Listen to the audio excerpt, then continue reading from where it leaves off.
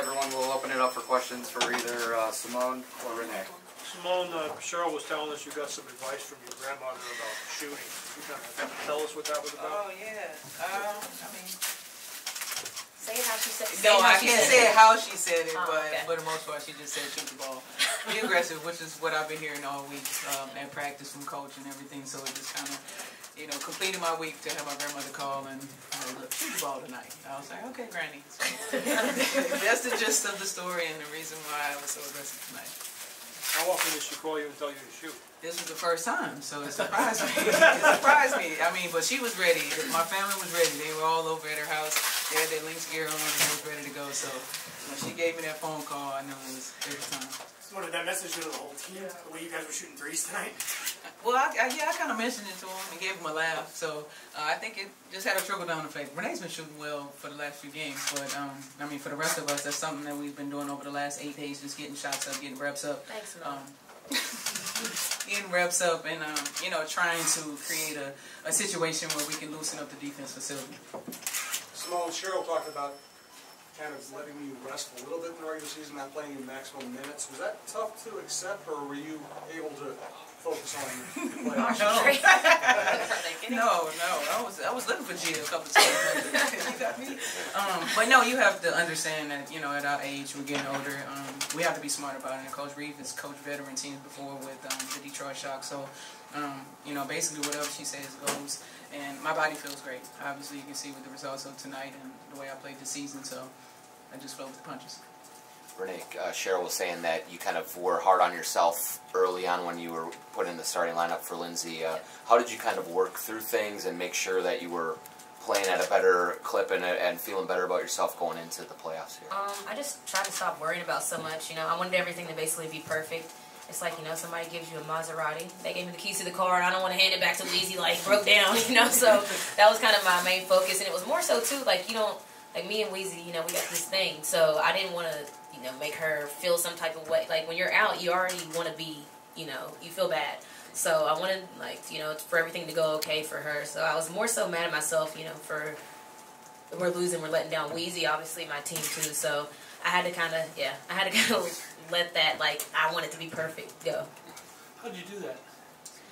Oh, you know, I just prayed about it. really, honestly, I prayed about it, like, just to, you know, just go out and play and things will work themselves out. Um, like I said, I to have the chemistry with the starters, I think it's going to help in the long run. But you know, we don't play that many minutes together with with the whole starting lineup. So for me, it was it was a whole different feel. You know, they have different things that they like to do. They have different ways that they play. And then I played with the bench, so um, just kind of actually watched watch a lot of film as well. Just seeing like you know, okay, so this is what Puka likes to do. You know, just trying to make it more so regular for them.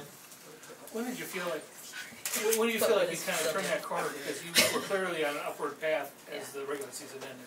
Um, like I said, I just prayed about it and just started watching film just to see, like, okay, what are they used to doing in the first five minutes? Because usually I come in after the first five minutes, so I kind of just started watching a lot of film with the first five minutes of the game. You know, first five minutes of the sec- third quarter, just to see, okay, how do things flow with them?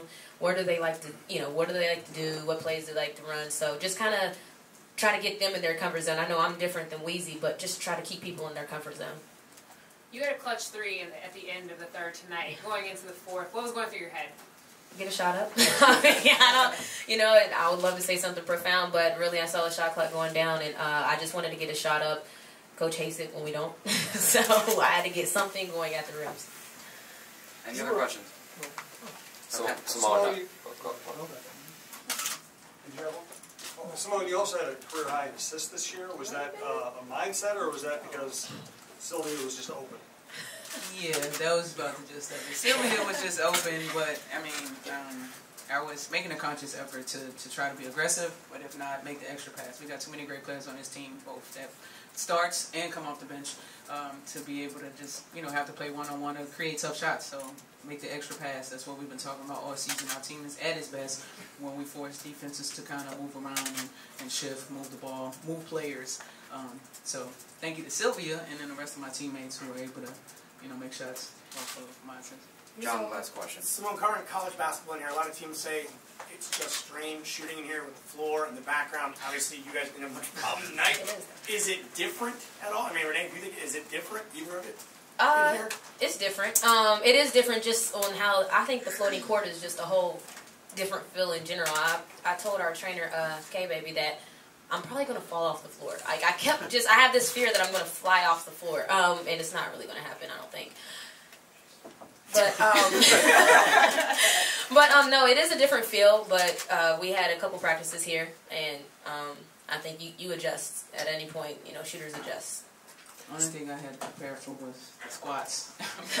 Step it up and down. No, step it Yeah, up, step it up, step it up.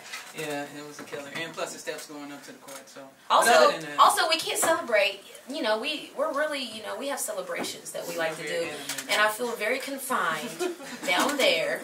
It's like nobody puts baby in the corner. I feel like I'm in the corner, but we can't do. We can't do our celebrations like we like.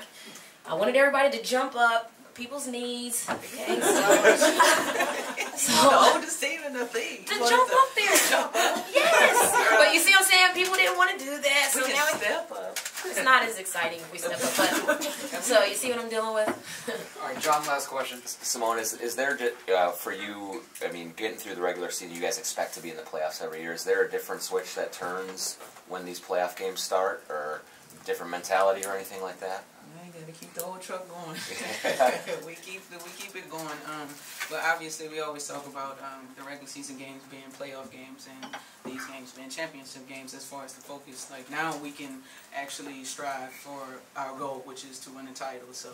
Um, the, the passion, the emotion, the focus, the intensity that we may have kind of, you know, placed kind of sparingly in a regular season, just kind of took our time. Now you can see the hunger of um, us trying to get our goal. Renee, anything else? Um, thank you. Come again.